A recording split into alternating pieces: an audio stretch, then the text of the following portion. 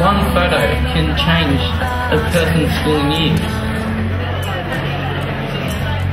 I'm Bree, and this is Gemma, and we're at the MCG. Woo! And we're filming um, a cyberbullying conference and just interviewing lots of people. There's been lots of different talks about leadership and what bullying is, and we've interviewed the teachers about what their their experience with cyberbullying is, and the kids. So hope you enjoy it. And they have really good muffins, which is a good part of the when day you think too. about it, you just let things happen a lot of the time, but actually taking responsibility and being a leader would really make a difference.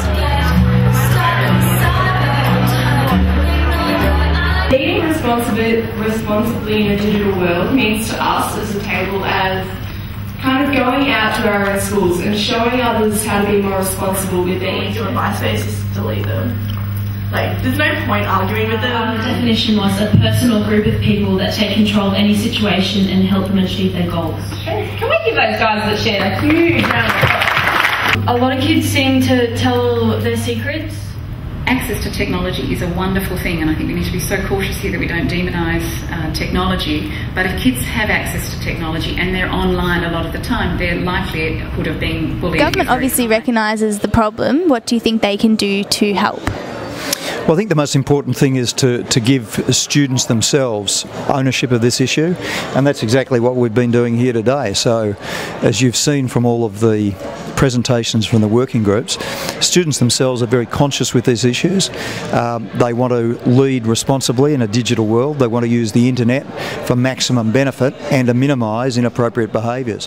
They do know what's going on, but they just don't know what they should do or if it's their job to do anything about it. that we did in Bendigo, and um, it just trained us and made us become leaders so that we can speak out about what we've learned um, in becoming ethical digital citizens. I, I'm hoping that they'll grow in confidence to report a lot of the issues that you've got. By using text as a barrier, we can keep the real self chained away.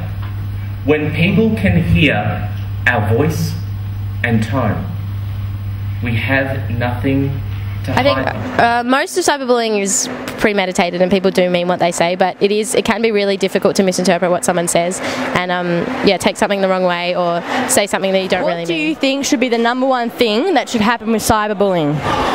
Well, most of the time, I don't think kids know what to do.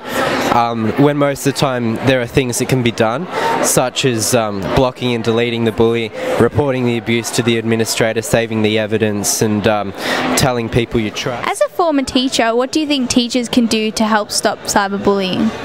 Well, I think teachers need to have an open relationship with, with the students. It's got to be a relationship of, of trust um, to understand that students will send um, uh, many messages, a great quantity of messages, uh, back and forth over the internet. But when there's a problem, to, to be able to work with students in an open and honest and trusting way to resolve that.